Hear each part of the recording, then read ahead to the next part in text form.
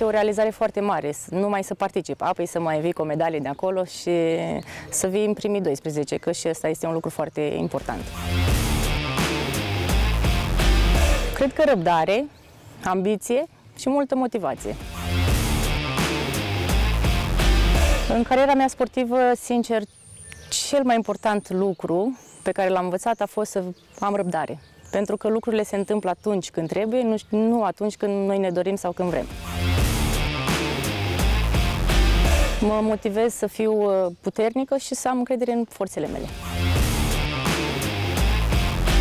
Încununarea carierei mele sportive.